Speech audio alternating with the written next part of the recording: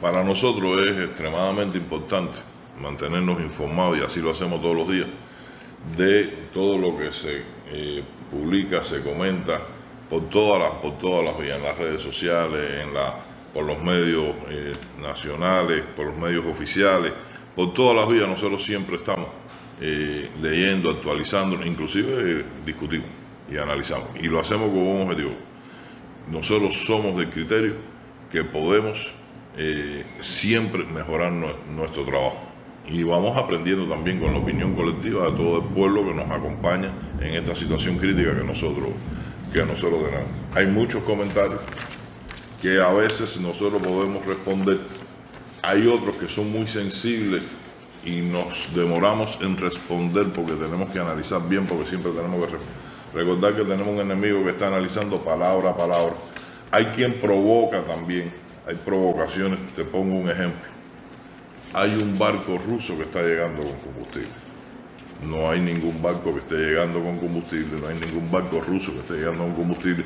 pero se hace ese tipo de insinuación para esperar la respuesta.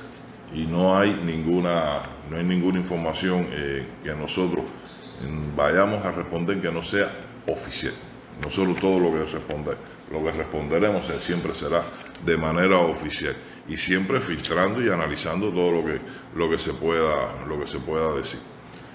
Eh, el sistema electroenergético es un tema estratégico, tanto la electricidad como el combustible, y por eso son muy sensibles los, los temas. En los estados de opinión, en los comentarios, en las cosas que se escriben, la gran mayoría con muy correcto y con, preocupaciones, algunos hacen sugerencias, otros tienen grandes preocupaciones, otros buscan cuál va a ser, cuál, va a ser futuro, se concentra en, varios, en varios temas. Hay uno que es el programa de las siete y media de la mañana de eh, nuestro director técnico del ministerio y, el compañero periodista Bernardo Espinosa, que es un programa de muy poco tiempo, que es un programa que da lo que sucedió y lo que va a pasar y hasta ahí, y no crea ninguna, no da ninguna información. Bueno, precisamente ese programa se creó con ese objetivo es un programa de momentos de crisis que se crea para, mantener a nuestro pueblo informado. Creo que no, conozco ningún país en el mundo, no tenemos información en ningún país del mundo que se le dé información energética diariamente al pueblo de, lo de las unidades que entran, de que salen, de cuál es la demanda, cuál es la, disponibilidad que existe y cuál va a ser el déficit. Eso eh, se le, informa a nuestro pueblo, se ha ido educando en eso, en eso también, y tiene una cultura también ya, digamos, energética como meteorológica, como, como, la meteorología, y sirve para eh, podernos organizar, que el pueblo se pueda organizar eh, en las posibilidades que se puedan. En ese, en ese programa también existe, o sobre ese programa también existen algunos comentarios, de que eh, si se pronostican 500 eh, megawatts de afectación, 1000 megawatts de afectación y después el, real no es igual. Bueno, primero es un pronóstico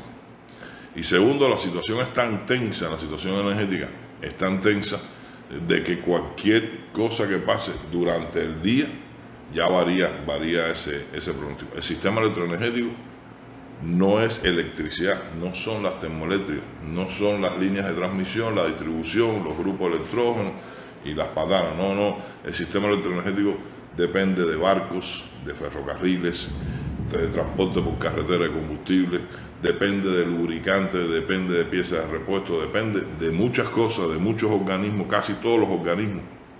de la economía de nuestro país intervienen de una manera u otra para lograr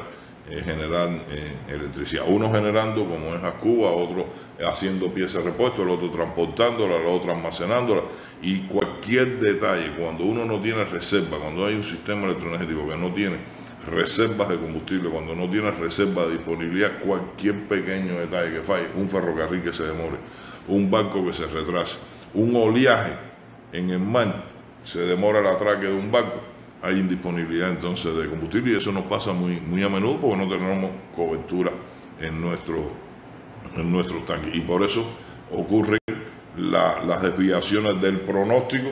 que se dice por la mañana a lo que pasa después en la, en la realidad. Yo quiero decir que en el Despacho Nacional de Carga se hace un pronóstico extremadamente profesional en, en dependencia de todas las variables, de todas las variables que se pueden dominar.